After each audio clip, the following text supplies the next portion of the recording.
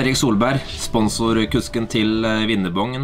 Han uh, har hatt et uh, bra år i, i sulkesettet, Tom Erik. Du kan jo fortelle litt om uh, året som snart går mot slutten. Er du fornøyd med sesongen så langt?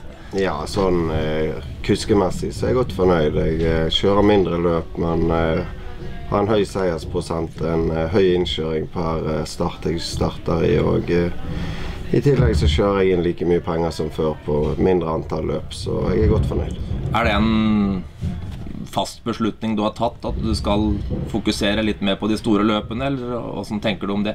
Ja, nei, Det er jo sånn det har blitt med økonomien i travet nå, at uh, det, det er ikke forsvarlig å reise og kjøre ett og to løp. Det, det går i minus om du vinner, og det er dårlig butikk. Litt om treningsvirksomheten din. Alle vet jo at du har et eh, samarbeid med Nils Munkhaugen. Du har kjøpt en rekke unghester. Eh, Du kan jo fortelle litt om, om det.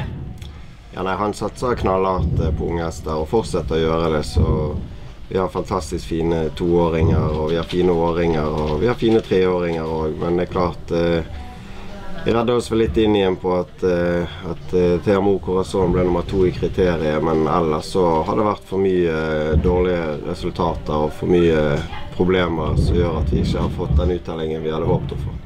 Føler du at det har vært et for stort press på deg selv som trener? Nei, det hadde ingenting med å gjøre i det hele tatt. Men det har vært skader på hester, og, og det har vært eh, Mulig de har ikke har vært godt nok forberedt, at vi ikke har eh, klart å få det optimale ut av dem. Men eh, noe press det har jeg egentlig aldri kjent på.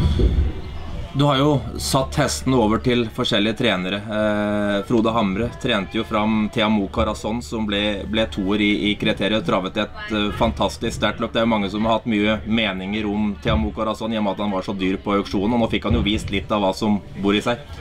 Ja da, det er klart det blir alltid litt snakk når de blir såpass dyre, men samtidig så Det var en auksjon der det var Nils og, og en kunde til som bøy imot, og da, da ble han jo litt kunstig dyr, da. Men eh, Thea Mo er en bra hest. Eh, han kommer mer og mer nå, så jeg tror han kommer til å få et toppår til neste år. Du kan jo fortelle litt om samarbeidet med Nils. Er han en grei person å ha med på laget? Hvordan, hvordan er han som person? Nei, han er helt fantastisk. Han, eh, han er så snill så dagen er lang. og Han satser og han vil ha resultater, men eh, er veldig rettferdig og reell fyr. Så han er vi blitt oppriktig glad i. Vi går jo snart mot en ny sesong. Dere kjøpte jo inn en del nye hester. Du kan jo fortelle litt om, eh, om de hestene. Er det noen som vi kan forvente å se mye av framover? Ja, vi håper jo det, men eh, klart Nils handler vel en eh, pakke med BR-hester og ble ikke kjøpt så mange på auksjon. Så, så det er jo toppstammerhester, men dessverre så var de to antatt eh, hestene har jo hatt problemer. Den ene ble ikke kjøpt, han gikk tilbake til Bjørn Rishaug med en skade som åring. og den andre, Jupiter BR, hel, helbroren til Hillary BR, han har eh, hatt en litt tøff eh, start på karrieren sin. Så han henger etter. Han står, eh, per i dag står han hos Kim Pedersen. og Vi håper at han skal komme i gang, men han henger helt klart etter treningsmessig. Så det er vel Jerry BR og MO Steady's Cash vi, eh, vi har lengst framme foreløpig. Jeg har hørt deg snakket mye varmt om, om Jerry BR. Eh, Er det en hest som har alle kvaliteter som skal til for at det kan bli en topphest på sikt? Per i dag så er han veldig talentfull. For å være to år så, så ser det veldig bra ut. Så får vi håpe han får en god vinter med rette type trening og, og riktig trening. Så tror jeg det blir en topphest til neste år. Er det noe du merker i trening, at han skiller seg litt ekstra ut i, i løypen opp på Furuheim? Ja, det er klart du merker jo teknikken på han og farten i han. og Hele individet ser veldig bra ut, så det ser ut som en ordentlig bra hest. Hva er det du syns er det mest morsomme? Er det dette med å, å trene hest, eller er det kuskebiten Tom Erik Solberg liker best? Nei, jeg liker begge deler. Spesielt å trene talentfulle unghester. Det er fantastisk moro å merke forbedringer på de fra uke til uke. Og liker godt å temme hester òg. Jeg syns det er veldig artig å jobbe med unghester. Men samtidig syns jeg det er gøy å kjøre gode hester i løp og vinne de litt mer prestisjefulle løpene. Da. Så det er klart eh, Skulle gjerne vunnet eh, kriteriet eller derby i år òg, men eh, det gikk ikke helt veien. Men jeg satser på det kommer nye sjanser til neste år. Er det slik at du, når du seler ut en hest som kommer fra din egen stall, sender den ut i løp, og, og det ikke går helt som planlagt, er det slik at du, du sitter igjen med litt grå hår etterpå? Ja, det er klart, men jeg merker jo det at eh, det er mer som står på spill da. Jeg blir, jeg blir mye lettere irritert eh, hvis eh, egne hester går dårlig. Så, så, det er klart det er litt ekstra når du trener de sjøl. Sånn som når du har valgt å sette hestene over til andre trenere, Tom Erik, er det slik at du er med litt på lag? Reiser du ned og trener sammen med dem og, og tar del av det, eller åssen er det med den biten? Ja, nå er det unghester som har reist ganske tidlig, da, som forutenom TMO, så jeg har vært borte og kjørt med hestene som står hos Frode Hamre på Jarlsberg. Og jeg er i dialog med de ukentlig og melder tilbake til Nils og følger det opp ganske tett.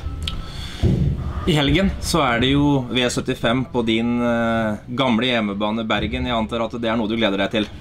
Ja, jeg elsker å kjøre i Bergen. Jeg syns det er en fantastisk bane med kjempeflott profil. Så det, det blir kjempebra uansett hvordan været blir.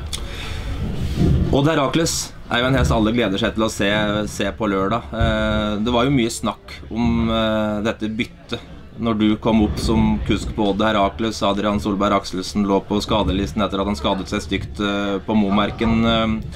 Hvordan ser du tilbake på den, den perioden der når du, du ble spurt om, om kuskevalget på Odd Herakles? Det er jo klart det er alltid kjedelig å miste oppsitt på en sånn, spesielt på en sånn eh, god hest. Og en, eh, helt klart en profil hadde vært for Adrian. Men samtidig så var det en gang sånn at eh, Lars og eieren Odd Paulsen hadde bestemt seg for at de ville bytte kusk. Så det er klart det var kjedelig for Adrian, men om jeg hadde sagt nei til å kjøre den, så er det garantert noen andre som hadde sagt ja. Så, så sånn sett, når de først hadde tatt det valget, så var det ikke vanskelig for meg å si ja til det. Og resultatene eh, etter at du satte opp i vogna, de taler jo for deg selv. Han har jo vunnet i både inn- og utland. Eh, fortell litt om hesten Odd Herakles. Det virker som et komplett individ. Absolutt. Jeg var nok eh, litt heldig at jeg kom opp på rette tidspunkt. Han vant på Bjerke på Oslo Grand Prix-dagen siste løpet før jeg begynte å kjøre han. Så han var nok på vei opp i toppform når jeg overtok, og han har jo vært helt fantastisk. Han har møtt de beste hestene og tapte vel kun for kongepokalvinneren, kongetravinneren kongetravvinneren i Finland fra annen rekke. da. Gikk et strålende løp da, og de andre løpene har vært helt suveren. Hva er det som gjør den hesten så god? Er det teknikken eller eh, innstillinga til hesten? Han har jo fysikken og teknikken med seg, men eh, først og fremst tror jeg det er psyken på han som gjør det. Han var ikke med i de harde ungdomsløpene. Han var med i fireårsløpene og i derby. Og, og i samme årgang som Landheim-Silje, så var det vanskelig å komme til topps da. Men han slapp litt billig under treårssesongen. og vært matcha tøft etterpå. Lars matcha han tøft allerede som femåring, men uh, han har hatt syke til det, og han har tålt det og bare blitt bedre og bedre. Føler du at det er lettere at eh, de kommer i gang litt sent? At det er lettere å ta steget inn i den ytterste eliten, eller de som faktisk er med på dette hardkjøret i tre- og fireårssesongen, at de kanskje faller av når de blir eldre? Jeg føler vel at det er en større sjanse for at de ikke får uh, utvikle seg uh, seinere som eldre løpshester. De faller fortere fra. Men samtidig så, så politikken er bygd sånn at det er som unghester de har størst inntjeningspotensial, og da er det helt naturlig at at eh, de blir prøvd å gjøre klar til de løpene, men det er ikke tvil om at det er en del talenter som faller fra på veien. Hvordan ser du for deg løpet på lørdag? Du har spor seks Ulsrud Thea står i spor to. Du står midt bak bilen på Bergen. Eh, føler du selv at du kjører til tet og, og, blir det hele veien, eller har du, har du sett deg ut noe løpsscenario på forhånd? Nei, altså klart vi vil kjøre til fra start, men nå er det kort distanse, så her blir det nok kjøring hele veien. Og skulle han måtte gå på utsiden, så så tror jeg han takler det òg. Han har gjort mange gode løp fra døden. Så jeg, jeg, tror vi kommer til å se vinnertid på rundt 19 blank der oppe. Og han har vært så god at jeg tror han selvfølgelig at han vinner igjen. Du har jo noen andre spennende oppsitt på lørdag. Bl.a. Eh, Fantomet, som kommer ut i V75 med en for samme trener, eh, Lars eh, Romtveit. Du vant løpet med Tangenfrikk i fjor, var det vel? Ja, det stemmer. Så Fantomet står veldig fint inne i løpet. Står alene på strek og kan komme greit i gang uten å bli forstyrra av andre. Og Avslutningen den sist viste at eh, hesten er klart på gang. Har fått det løpet i kroppen. Så blir ikke overraska om han vinner. Always on time står i spor 2 fantastisk hest som du har et utrolig godt tak på. Du vinner jo stort sett hver eneste gang du setter deg opp bak eh, Always On Time. Hva, hva, tenker du om lørdagens løp? Tror du du får tet, eller blir det vanskelig? Det kan bli vanskelig med Giant Valley i spor igjen, men eh, god fra start er han, så vi, vi, må kjøre til. og Blir det luke bak, så kan vi komme oss ned i glede. Men over den distansen 2100 meter så er han helt klart best i rigg. Så har vi treårsfestivalen. da. Teamo Corazon eh, ble som vi var inne på tidligere, at toer i eh, kriteriet. Galopperte på Leangen sist og var vel kanskje ikke som best da. Han eh, var ikke helt eh, trygg på svingene der oppe og slo seg litt på et framkne på svingene. og Det var nok det som gjorde galoppen kom. Han eh, var en tur bort hos Jonas Tonell i Sverige etter det løpet og fant ingen store feil på hesten, så jeg tror nok det skal gå bra i Bergen. Har du følelsen på at eh, hesten kan ta seg av eh, løpet på lørdag? Et veldig godt løp. Eh, minst like tøft som kriteriet, syns jeg. Så jeg gleder meg til å kjøre det. Jeg tror ikke han kommer til å gjøre seg vekk. Føler du at det er en hest som blir bedre og bedre for hvert løp? Ja, absolutt. Han er veldig flegmatisk og tar jo ikke i mer enn han må. Men samtidig så har han blitt bedre og bedre hele veien. Og han var litt sein i gang, så han er forholdsvis tatt ganske fint. Til slutt, om Erik. Det er jo mange som har meninger om norsk travsport om dagen. Det er premiekutt nå i eh, november og desember. Eh, hvordan ser du på, på fremtiden for norsk travsport? Jeg tror nok at de vil klare å finne noe penger en plass i systemet, men det er klart at det, per i dag ser det ikke veldig lyst ut. Men jeg tror nok vi skal komme oss gjennom dette òg. Men det er på tide at lederne våre begynner å oppføre seg som ledere og ta tak i problemene som er, og løse dem på riktig måte.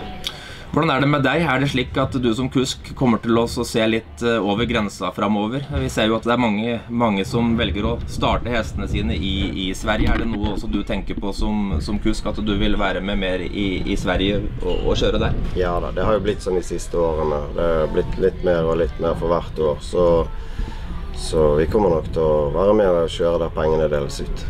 Takk for at du tok deg tid, Tom Erik, og lykke til på lørdag. Takk for det.